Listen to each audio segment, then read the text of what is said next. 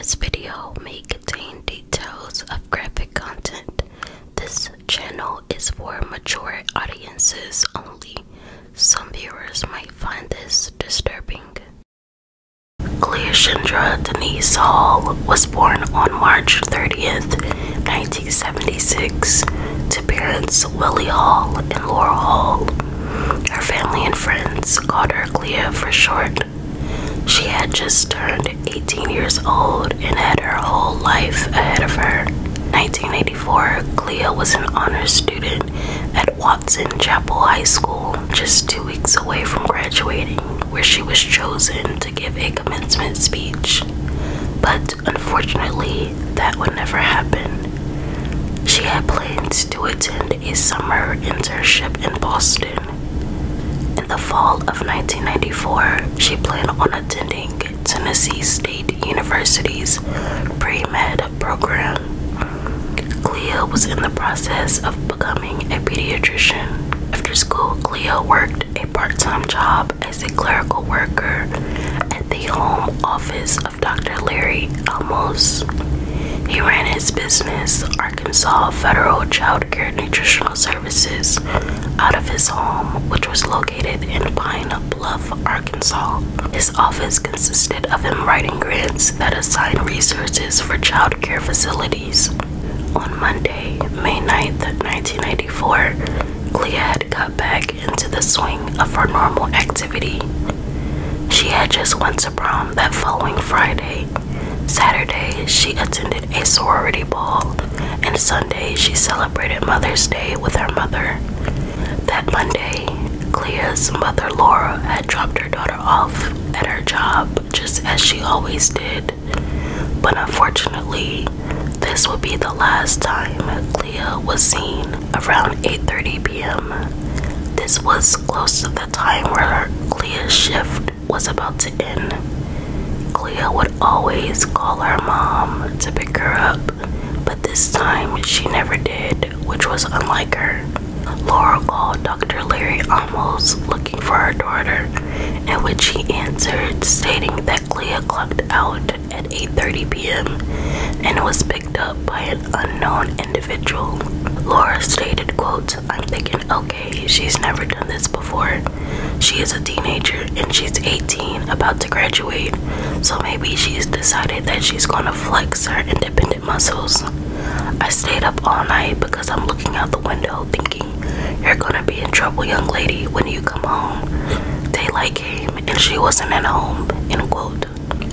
Clea's family thought she might have gone straight to school, but when she never showed up to school, Laura reported her daughter missing. Since she was technically an adult, the family would have to wait 24 hours before filing a missing persons report.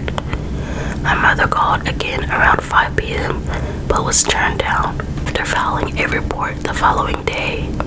Leah's family hung up and passed out missing persons flyers and contacted the news to spread awareness of Clea's disappearance. Police searched the home of Dr. Larry Amos, where she was last seen, but found no clues as to where Clea might have gone.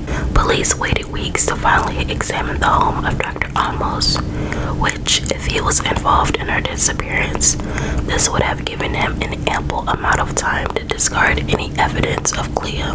Dr. Amos was considered a person of interest, and when he was questioned, he stated that he witnessed Clea getting into a car with an unknown person, and he could not describe the description of the vehicle. He didn't even know Clea left until he heard the garage door close. Later on, he adjusted his story, stating that he watched Clea look out the window for a ride and watched her leave with a peach popsicle in her hand. After giving his statement, he told investigators that if they had any more questions, to contact his lawyer. The day after her disappearance, Dr. Amos left the state on an alleged business trip and returned three days later. Clea's friend witnessed Dr. Amos taking down missing person flyers and poles around the town. He also paid several children around the neighborhood to take down Clea's flyers. Another individual was a person of interest in her case. His name was never released to the public. It was reported that Clea had a crush on him and acted friendly towards him. The young boy was questioned and his vehicle was searched. No evidence was found that would have linked him to the disappearance of Clea, so he was released. In 2012, investigators received two tips which warranted a six hour search of Dr. Almo's house. Investigators brought cadaver dogs with them. Removed several brown paper bags from his home but would not disclose what was inside of them. Clea's mother was at the scene and stated that she's hopeful this is a step closer to finding her daughter. Cleashindra Hall is still missing as of the recording of this video. It has been 30 years since she was last seen. Every year on her birthday and her missing date, which is May 9th, her family releases pink balloons. Clea was last seen wearing a white blouse with navy blue stripes and matching white shorts with navy blue polka dots. Clea has a chipped front tooth and a surgical scar on her left knee. She was 18 years old at the time of her disappearance. She was 5'8 and 120 pounds. On March 30th, she would have turned 47 years old. If you have any information that may help with solving the disappearance, please contact Pine Bluff Police at 870 730 2081.